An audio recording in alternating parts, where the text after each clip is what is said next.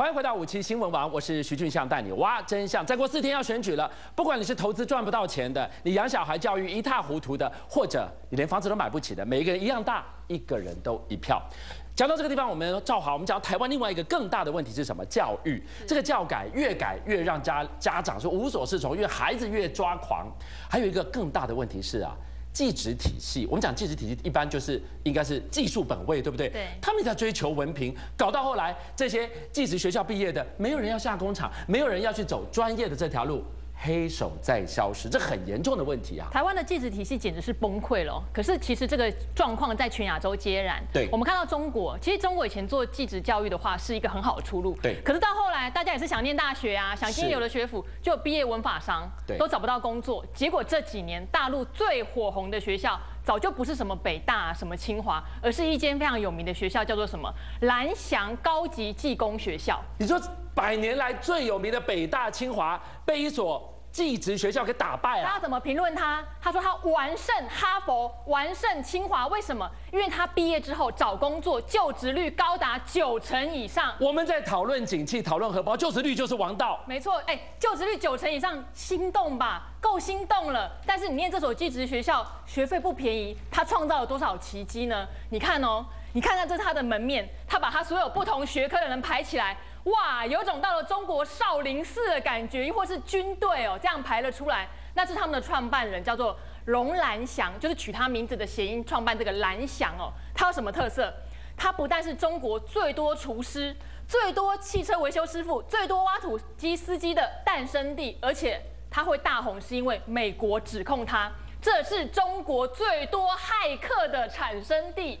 就在这所技工学校，你很难想象，你你本来以为说骇客会来自大学很厉害的计算机工程系呀、资科系呀，没有，居然来自蓝翔技职学校。我对这个学校是越来越好奇了。这个学校三万多个学生，一千五百多个教职员，最厉害的是，它有一百多个接线生。因为呢，想要来报名的电话，想要来这边挖人才的电话，每天都打爆了。本来就很 hit 了，结果最后呢，被美国指控说骇客从你们这个地方来，你们是骇客的摇篮，它变得更抢手了。对，那我们先来看看它各个项目有什么厉害之处，要让大家愿意花大钱来念哦。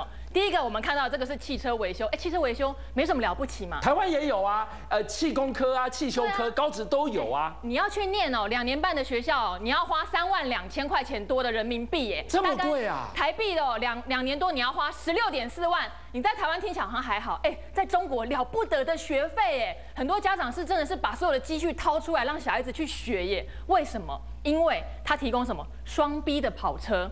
奥迪这些名车，哎，这些名车让学生拆了练习耶。这想起来有点不可思议。在台湾，你一般呃气功科的学生，你如果要要要修这个，大概都是去那个二手车啊，或者是挂坝顶，有没有去拖回来拍档股虾？报废的车就是啊，他还会买不到三年的新车让你拆，哎，所以他让你完全跟得上时代，出去你看。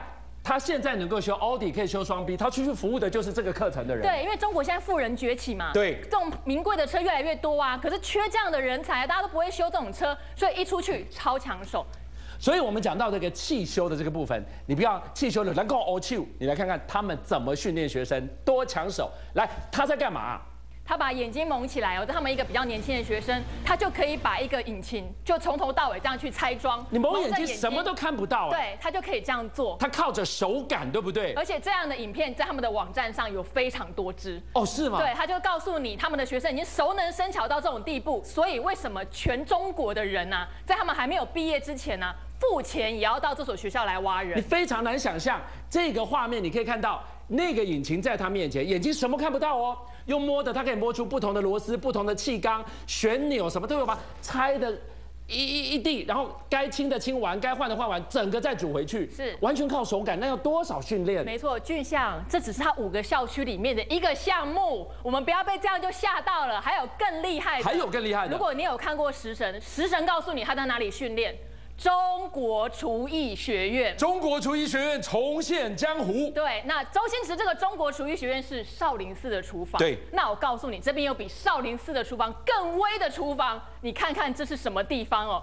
哇塞，这个一字排开，烈焰冲天，这么多个学生在这边同样的炒烹饪的菜。而且这个学费除了贵之外，你每年要加七千多块人民币去买食材，但是大家还是趋之若鹜。为什么？他三年让你学会五百道纯正的中国菜。哇！你在这边读三年，你会学会煮五百道，那根本不用去假陶龙，我直接去开店，我就赚不完啦。每天就是煮啊煮啊煮，老师一直帮你试试，一直帮你挑剔，这样子去训练。所以他们也是还没有毕业之前，一大堆三星级以上的饭饭店老板都跑过来，拜托拜托，来我的饭店服务做厨师，好不好？太可怕了！你个汽修科的蒙着眼睛都能够修引擎，那这些能煮出什么厉害的菜，真的是好可怕。那再来呢？这也只是他五大校区中的一个。是。那再来，刚刚我们提到了骇客。这个事情是发生在两千零九年，你知道中国的 Google 啦、雅虎啊、Adobe，他们疯狂的被骇客攻击，是哦怒了，都是美国超级科技大企业，对，就他们就严厉的追查，哎呀，骇客来自中国，中国是不是北大、清华那些人搞的？是吗？不是，查呀查，怎么搞的？查到山东，山东的济南，山东济南的蓝翔技工学校，然后这件事情闹得沸沸扬扬的，因为美国就大。就指责说这所学校根本就是骇客培育所。那这个骇客培育所到底什么地方啊？职业学校。对，技工学校。结果呢，中美因此这样闹得很僵，还搞得什么？Google 最后退出中国市场。是。就是这个极光事件哦。是。那我们看到不是盖的，这个是破了金世世界纪录的一个机房。这个里面有一千五百台电脑可以同时运作。哎，君香这什么概念？我们的台大第一学府公用电脑才两百多台哎。哇，这边有台大的七倍耶，这边有一千五百多台可以这样子运用哦。对，那为什么它会变成骇客集中地？因为蓝翔学校之前有卖给军方，后来又出来，那我军方可能在那个时候就埋下种子。是，那这时候里面的学生也说，其实每天都有不同的外国人会来教我们一些技巧，其实这些外国人就是骇客。所以真正中国网军的摇篮迪加啦。对，那还有一个，他们大陆有一个顺口溜。挖掘技术谁最强？中国山东找蓝翔，这个被他们网友哭熟到非常多的版本，像洗脑一样一直放一直放。对，为什么？他们就是有这样一个画面哦，有一百多台来自各国的挖土机，涵盖世界八大名牌，让大家在这边学挖土。那很多来学的人，有个农民就讲了，他说我以前啊在乡下做农作啊，对，一个月顶多三四千人民币的收入了不起。可是如果我可以来这个挖土机这边练。然后一个月当司机的话，我可以跳到一万块钱人民币。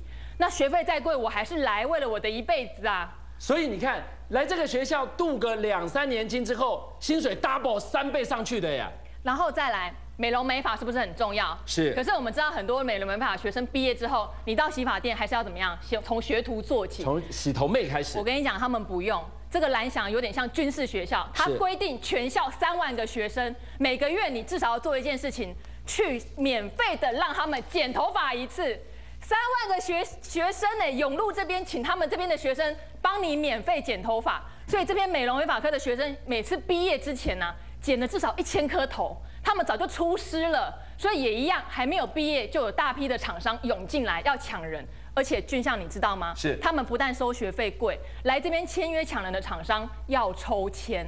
哎，不是你想要来办说明会就来，我们是拉不到厂商来，拜托帮我推销学生，你收收我的学生，不是他反过来，对不对？要收要抽签，他学生太抢手了，就是。对，抽签完之后你要付费，然后等到你选好学生，学生也愿意跟你走的话，对不起，佣金，一连串的收费，所以大家叫这个蓝翔叫什么？叫蓝翔王国。